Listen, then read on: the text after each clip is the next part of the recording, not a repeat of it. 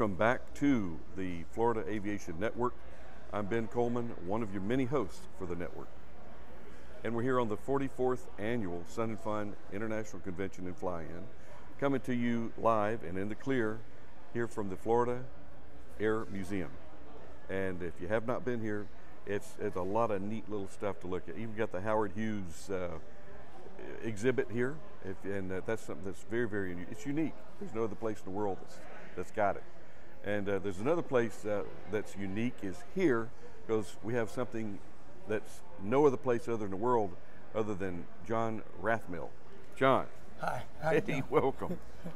John uh, happens to be with a aircraft company, and it's one of the uh, new and upcoming aircraft companies. It hasn't been in existence too long, and he knows a little bit about this uh, aircraft that you would really enjoy hearing about. And I'm going to pull as much information, extract it out of him as much as we can. He's a little shy and timid, but uh, we're going to pull him out of that shell. John, tell us about Bristell Aircraft. Thank you very much. Uh, Bristell Aircraft's been around for a little longer than nine years now. Uh, it's an aircraft out of the Czech Republic. The uh, aircraft is uh, got more real estate in there than uh, a Cirrus. So you got the largest LSA in category, 51 inch wide cabin, uh, very comfortable. Does cruise at the 120 top of the LSA category, and I, it's I got understood it was 119. no 119, just under. Okay. Just Okay. just, just tripping you up. Yeah, thank you very much. No, no. It, uh, the, the airplane uh, really does perform to all the specifications. Has a great useful load. It's lighter, faster, and stronger than some of the other competitors. And it was a uh, from the ground rebuild when our our Bristell uh, Milan Bristela BRM Aero came back out and rebuilt the airplane from the from the ground up from the original design. So now we're offering several different engine uh, capabilities with the, ro- the various Rotaxes, 912, 912 IS, 914. We'll get into some of this stuff, and then uh, down the road we're going to hint at the idea that 915 Oh, might be usable that's, too. That's exciting. Yeah, And this is an all metal aircraft. that's correct. And uh, suspension. Do we have any B roll on this? I don't know if we do. Uh, evidently Uh, not. I don't know. I don't, It know if we, I don't, been I don't know if we have anything to go to. Because uh, you know what I really love to do is I tease people, and uh, and I, I like to say. You want a fun teaser? How about let, us go over to uh, face? Uh, let's go over to um, uh, YouTube and look at Bristell in the sky. Okay, if if I was in front of a machine, or if I had my PDA up, I would go to Bristell in the sky. Bristell in the sky. Yeah. Hit go, and uh, you over see on YouTube, and you'll see a really uh, a fun flying trip we did with with my partner uh, Lou Mancuso. I've heard of Lou. And Lou's a super great guy. He's been in the industry since, uh, well, his family's been in the industry since the 40s. Lou's had a, a 75 year business uh, in aviation. Good. His dad was, or his, his dad was a, a trainer for the guys who flew uh, Battle of Britain. Hmm. So before America was in the war, his dad was a, was a flight instructor for that. Lou's been in instructing. His life passion is to enhance a personal limitations checklist and have a training program for our airplane. So we have a, a transition program that's I think second to none. His his son also came up in the business and was a aerobatic pilot, as you know. Mike Mancuso flew with the uh, with the Snowbirds, Yep, I, I've heard the name Mike. or I should say the Northern Lights, the extension Lights, the yeah. extension of the so, Snowbirds when they got done. yeah. The uh, you know it's good to hear heritage and and how uh, and how we have well folks that pass it down from generation Sure. to generation, and it since the industry is growing so much, some of our uh, founders and the folks that have been in the grassroots are we're, we're, we're getting diluted. John. It's hard to find those anchors. We used to be, you know, you used to be a young guy in aviation. That's that's true. That's right. Yeah. I, I used to be a young guy, and then I woke up one day and it was it was all gray and missing and fat, but uh, but we we've gotta make this industry more attractive for young Sure. folks like Bristell. Uh, I know that you guys are very very enthusiastic about getting young people around your Oh aircraft. Yeah. And when I say young people, that's anything under 40. That's right. Okay. That's right. And uh, what uh, training? You, you just touched on training. Yeah. And I haven't heard of any real accidents or incidents. Uh, Right. Well, the, the airplane uh, the airplane has a really good accident record. Uh, the the uh, the, the, the thing is, it's extremely safe. It's got a very uh, heavily reinforced roll cage mm-hmm. inside. It's got some special design requirements that uh, early on in the design uh, of this aircraft, the, the designer Milan Bristela built a special channel that in the event there's a head-on or front-down impact, mm-hmm. that the, the engine will fold and pull back up under the roll cage inside the airplane. So if if there were a forward head-on crash, that that engine will fold up underneath in a channel taking that energy away from the pilot. Not in your lap. Exactly right. okay. Not in your lap, in your face, on your on your yeah. you know. So we're not looking at what a we know some of the other aircraft out there that, that maybe on the composite side of the world that are a little stubby, maybe also a little hard to work on mm-hmm. than mm-hmm. than you would others otherwise see. Mm-hmm. When you open up our canopy and cowling in there, couple it's one of the mm. quickest ways to get inside, but when you take four or five minutes to open up the cowling and take front and top cowling off, you can see there's plenty of room to work with. Hmm. That is a really great opportunity in uh, an unfortunate situation that that that whole all that equipment's going to move away mm-hmm. from the pilot, but there's plenty of space for it to absorb some of that energy. John, so there's some cool design features built in. It's refreshing to hear a manufacturer rep uh, talk about some of the dark side of aviation because everybody, nobody don't say anything. Dangerous. Don't say anything about an accident. No, that's that's bad that's bad uh, bad advertising. Sure. No, it's reality, it's and reality. and uh, it is a direct result of poor training, poor preparation, and just lack of skill. Sure. and so. Well, we, and when we, all that fails, we sure would like the design to kick in and protect the pilot. Crashworthiness. I mean, look at what they've done, and I, I, I mentioned NASCAR yeah. just because I mean they're going 200 miles an hour, and they can flip, roll, and crash, and get up and walk out of it. You bet. Now, granted, they don't have some of the weight constraints that we do in aviation. Right. But still, they're very, very weight conscious. Right. So uh, there's there's there's got to be more that we can do in this industry to make something to where you can uh, you can uh, have a occurrence, let's yeah. call it. Sure. And and and literally not take your life or uh, sure. lose limbs. So. Sure. What's great about this airplane is it's a great all-arounder. So it lands relatively slow, mm-hmm. and as we say in the industry, it's a bit of a baby carriage. So it's very stable, mm-hmm. very controllable. Ailerons are controllable all the way throughout the landing process. So it's not, as we know, that the flight controls begin to degrade as we begin to slow down the airplane. Mm-hmm. Normally, in the normal flight, if you're a student, you'll soon learn that. But this airplane handles and, and has full aileron control all the way up through the regime, all the way down through the stall. So, and it's very, very benign, so the airplane can land very slowly, but it gets up and on speed very quickly. So when you're going to make a long distance or across country, it's mm-hmm. economical, and it covers a lot of the bases that larger Americans might want to have. A lot of space in there. Hey, hey, careful, careful there, careful. I, I, recommend a good workout program. We start every morning, 5 a.m. We, uh, I have not flown in the Bristell. Uh, but the ground handling you mentioned, is it direct link steerage? Yes, it's, it's steerable it, nose wheel. It's That's steerable correct. nose wheel yeah. with rudders. That's right. So we're not using this differential brake. That's or, uh, correct. Uh, okay. So if you do have a problem with the brake line and you land, we use Beringer brakes, by the way, one of the few airplanes out here that has uh, anti-lock braking system. Mm-hmm. So you get the increased functionality of ABS, but it's mm-hmm. something you're more familiar with in your car. Mm-hmm. It's something you've got. Most most folks have now in a in a newer vehicle. So this airplane has increased performance. We have great brake manufacturers out there, and we've been thrilled to be working with a lot of them. But now we're working with Beringer uh, largely in our aircraft, and we really love it. You know. How about your? Uh, how about the fan? What kind of fans? Well, well we've got um, a uh, uh, a 50 prop that comes with it. It's a Czech manufacturer. Mm-hmm. We've had really good results with it, and we got lots of long-term data on it. We're also working with DUC props out of France fascinating prop. Almost behaves like a variable pitch prop, mm-hmm. but it is fixed.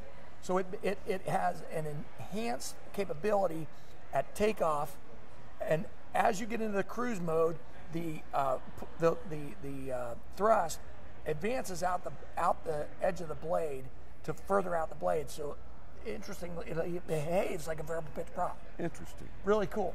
And uh, the Czech Republic, there's a lot of designs that come out of the Czech Republic. Oh yeah. Uh, the, the, gosh, I won't go into all the various different aircraft that look similar, but they're very. The only thing similar is wing position, yeah. uh, maybe a canopy, Yeah. the uh, the the rake on the tail. Yeah. It might look uh, amazingly Yeah. alike. Well, but, there were a uh, lot of earlier designs, and interestingly, our designer has been involved in some other Czech Czech built aircraft Mm-hmm. early on. So you'll see some of the DNA, some of the threads of where he kind of started in his business, and then worked his way out to being on his own at at, at uh, BRM They doubled product, production for us twice last year. They increased factory production for us again uh, this year again. Where's the thrust of your sales, John? Uh, but percentage wise, it Really, you mean in terms of uh, Australia, Ch- uh, Oh, uh, well, China's starting to open up some airspace. United States is has become the, the biggest uh, dealer. Uh, We started out as uh, number three in line and worked our way up to number one now. Uh, Australia has been a real strong player. Also Germany Mm-hmm. and France, and our, our, our partners there. What, what we're trying to do in in the Bristell line, and Lou and I have worked pretty hard.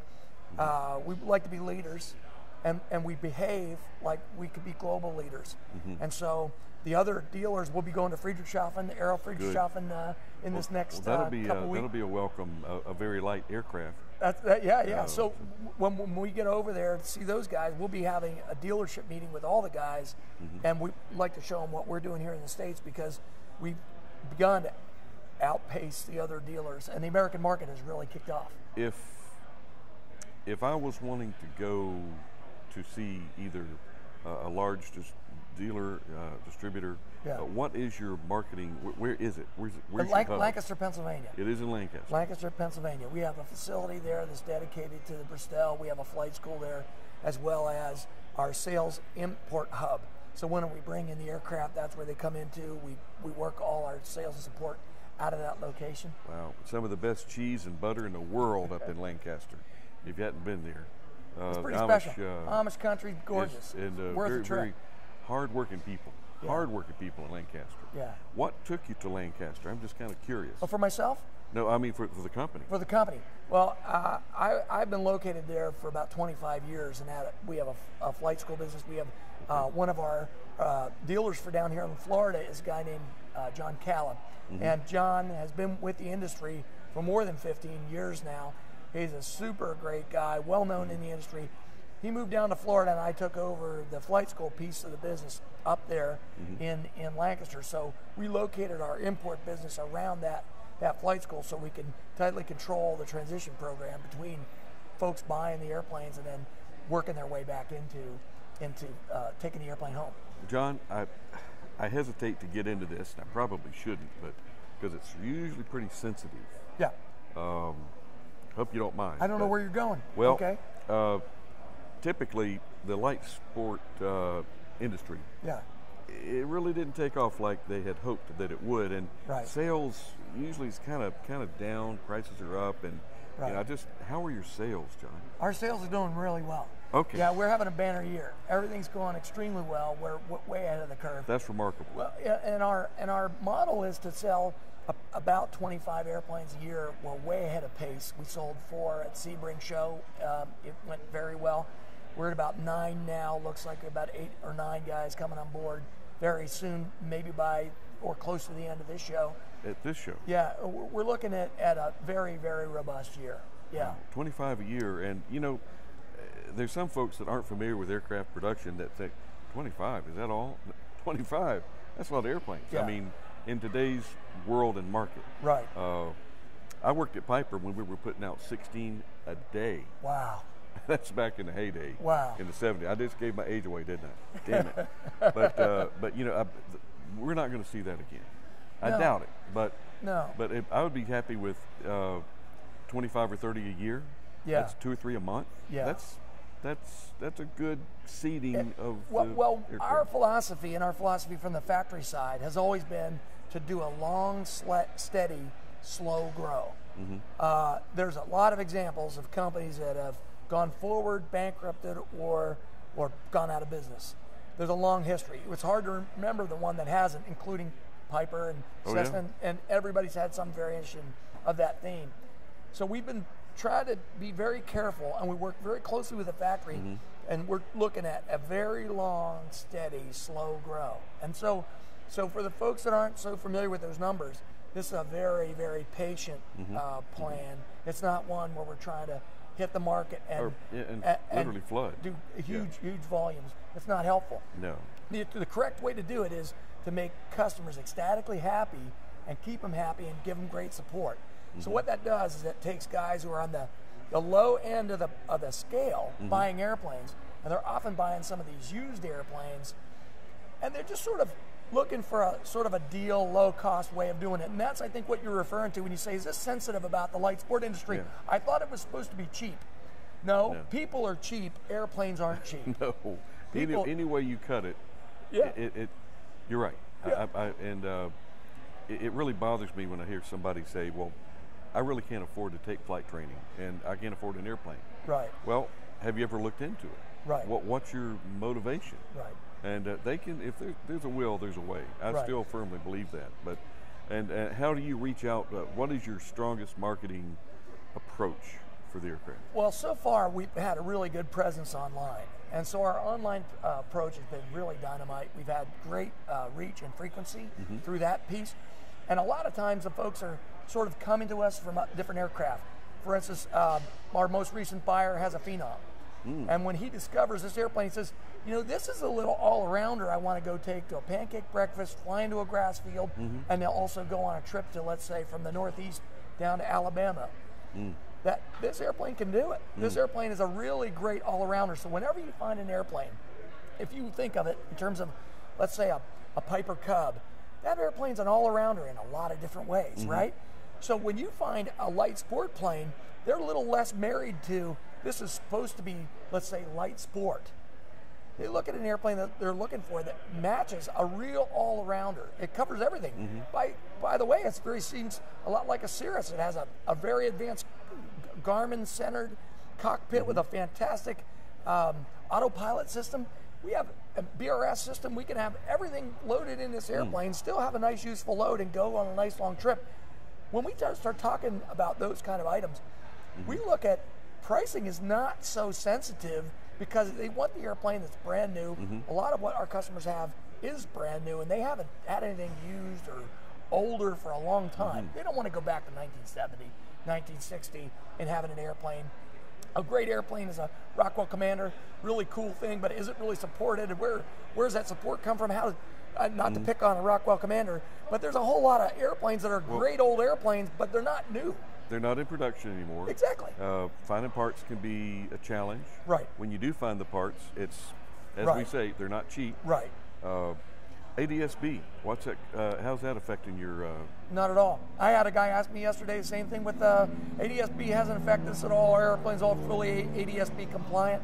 We also have folks that are saying, hey, uh, how do you feel about this medical issue? Has uh, Basic Med?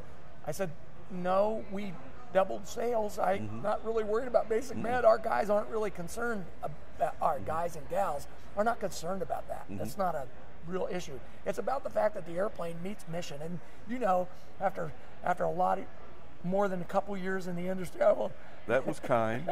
that was kind. th- th- there's a whole uh, process to this that uh, folks aren't really that concerned uh, about. They want a mission quali- quality plane. So this airplane really covers a lot of that mission. Comfortable, long John. distance. Maintenance. Yes. Uh, do you encourage your folks to get involved with the maintenance aspect of the aircraft? Well, uh, in, on the experimental side of the house, a lot of guys want to get involved. So you can take a short course and do your own inspections if the airplane is an experimental. You can also take a light sport repairman course and do your own inspections as you go forward. As far as us encouraging it, if you're certified, we encourage it. But most of our airplanes are still in warranty, so if you want to meet the requirements to be certified, we really highly encourage that. Take a course for Rotax, the, Ro- the Rotax engine at uh, Lockwood or Leaf or the guys in uh, uh, California Power Systems. Those guys really, we, we encourage you to be qu- be qualified and do it yourself. But if you're not a do-it-yourselfer, you really don't need to worry about it. An annual on this airplane costs about 800 bucks. So you're really not looking at a, a steep cost Wow. to have to be able to maintain this airplane. I, I, I, am an advocate. I'm a mechanic by trade, and I always advocate that to, to really thoroughly be a, a really good ultimate pilot, you really need to know the systems on your airplane. And uh, and for the folks that say, well, I'm just not mechanically inclined. Well, You do you have a curiosity? Yeah. Uh, you can you open a can you turn a doorknob? Yeah, Uh, yeah. You know how to work a screwdriver. Yeah, You know that's there's a lot of different variations of mechanically inclined, but Well, our airplane comes with a transition program, and that includes a maintenance in brief when you come in. We also give you suggested reading and suggested viewing to make sure that you have some, some basic background, so we know that you're safe when you when you take the airplane. yeah, some do's and don'ts, and Right. uh, and look for this. Be careful with that. Right. Don't touch this. But whatever you do, whatever you do, yeah, the, whatever you do, don't- don't that. Yeah. John, what is, where are you going with this? I mean, I know that, it, of course, increasing sales, but uh, the safety aspect is that's really what we're here about is Sure. safety. And uh, where are you going with expanding on your safety message to your potential owners. Yeah. potential buyers? Well, one of the fun things, and, and you might be familiar with this. I don't know how, what your military background was, or if you had one, but we have a challenge coin. coin. Have you Ah. seen our little challenge coin?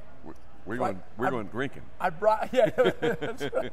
Well, the first thing about military flying is, of course, that it's all work when you're at work, and it's a mm-hmm. little bit of play when you're done. And, and it's usually high pressure early on, and then it's there's a relaxation. When that comes, there's a, usually a mil- military challenge coin. So our military challenge coin, one of the few, I don't know that there's another plane out here that has one, but it, it says on the front here, the art of defying gravity for Bristell, and on the back, it memorializes our training program. Okay. So after you've completed our training program, you get a little call sign, just like you would in the military. Yeah, So our most recent guy to get one is Michael Smith out in uh, Texas, and we have decided to call him Fabio for Febreze. We won't tell you why he's he's Febreze, but he is now Long flowing hair? Probably not. not, not so much. More like Febreze. That uh, we're gonna the challenge to our guys out in the uh, out in the truck. They're just back there, just probably asleep by now. John saying, "Oh, now, now, what's Ben doing now? Oh my God! I, come on, come on, you can do it. Oh, it's right over. On, uh, There you go. let me cover my pie hole there. Uh, but let's see, a little. Can you see that? All righty then. Challenge coin, and that's that's an excellent concept. And, uh, And on the back, if I can I can I get that shot too? come on, let's do it again. Do do that one on the back. John's saying, "Oh, what's he doing now to us?"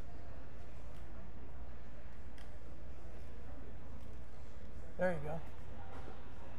Okay. You'll see that it memorializes our training program, and it says GPA. And right here's what's going to be engraved for Yeah, the call. Yeah, that's right for the call sign. Excellent. Right. That is excellent. Very good. So, so my partner Lou wrote a book called um, "The Personal Limitations Checklist," and, uh, and basically based on a, the fact that a man has to know his limitations, right? Mm-hmm. Well, or a person has to know the limitations. From Dirty Harry. Wo- Man- wo- women know their every- limitations. Women Yeah. know men are their limitation. That's Dir- that. Dirty that- Harry. I, that- that, but man's got to know his limitations. Exactly. So Lou wrote a, a little uh, a primer on basic limitations. So we include that with our training program. We've also got ground proximity awareness training, which is an interesting part that's memorialized here. And then on the other side, a defined go around point. A lot of the stuff matches the PTS, if you're familiar with the practical ACS. practical test standards now moved right. over to ACS, right? So, so when when this uh, gets instituted, what we're looking at is continuing to deepen those roots on that that three-legged training program. Mm-hmm. So we talk about things that have happened in the past, what we can do to avoid them, mm-hmm. just like we would do at an airline or mm-hmm. an airline training. Then ground proximity awareness, how to fly low and close to the low and close to the ground safely, and then define go around points where everything's a go around unless you can't think of a good reason not to touch it down smoothly on the center line with uh, no side drift and any kind of crosswind. John, that, that fits in remarkably with something that I was going to challenge you with. Oh, yeah. I don't have my coin with me, but You now do. oh, And so are you serious? that's your coin. Th- Yeah. Really? Yeah. Well, you know, uh, I spent some time in the sandbox, and uh, my call is milk jug. Is that right? So uh, I'll explain that to you off camera because Okay. uh, it's a little bit too colorful for this crowd. Um, but well, thank you very much. My Uh, pleasure. but I'll the- expect to see you the next time we see each other in a social arrangement, and there could be a cold Coca-Cola involved. If you throw that up on the bar, I'll have mine. But if you don't have yours, you're buying. there, there- there might be something. Uh, there might be something to that. Yes. Hang in there. uh, but the challenge that I'm going to throw at you, I don't Yeah. have my coin, but Yeah. thank you again. yeah. Uh, You're welcome. I've, I've. This is a. This is one of my fetishes, if you will. That, that's I don't have any real fetishes, but uh, landing checklist. Yes. Why don't we call that a go-around checklist? Sure. It should be a go 'Cause around. it- it's a go-around checklist. If you can't think of any other reason not to land, then you can land. We uh, we have had so many lost control incidents and occurrences, and in, in some cases, pretty bad accidents with people that uh, they're going to land, and in their mind, from downwind, they're going to land. Can I, can I give you a concept that might Talk be interesting, especially from a safety standpoint?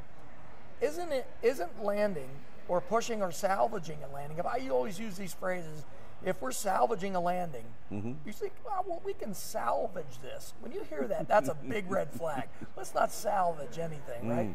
So if you're trying to salvage a landing or save something, that's a good clue to be, begin to think Mm-hmm. about go around it and make sure that you don't do something that's not safe. Landing incorrectly or push pushing a landing puts us in a position to almost get have get homeitis mm-hmm. in a way. You know, we Yeah. talk about get homeitis. Let's not push it into weather. No, I don't want to be unsafe. I don't want to go to somewhere where the weather isn't so good. I know I don't want to do it, but I got to kind of get back for that meeting. Mm-hmm, mm-hmm. Well, if we're going to land and the stabilized approach has evaporated, Yeah. and it's not looking so good, and we start thinking about maybe salvaging this one, isn't this just a form of get homeitis or maybe get It, downitis? it is, it is, Yeah. and that's that's the reason that I'm I'm, I'm trying to push the industry, and uh, I'm just I'm just one little bitty fella.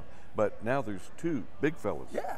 uh, that can talk about this concept of plan on going around. Uh, land only if everything is stabilized Right. and you're exactly where you want to be on target, on speed, ref speeds. Uh, Let's talk ref speeds on the next interview. let's do that. John, thank you so much Thank for you your so time. much. Appreciate it. And uh, I do want to come out and fly that airplane. Please do. All right, and then we'll put you in a Mahindra Airvan someday. I would love that. and that's a real hoot. Let's we'll talk it. about that one some other time. But we're going to sign off on this interview, and we're going to. Uh, we got so much more coming to you.